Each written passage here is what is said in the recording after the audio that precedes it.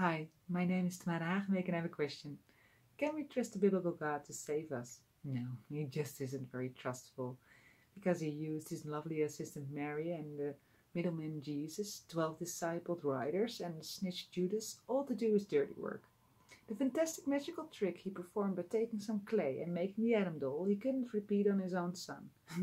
he couldn't even save his own son. I think the same will happen to his followers.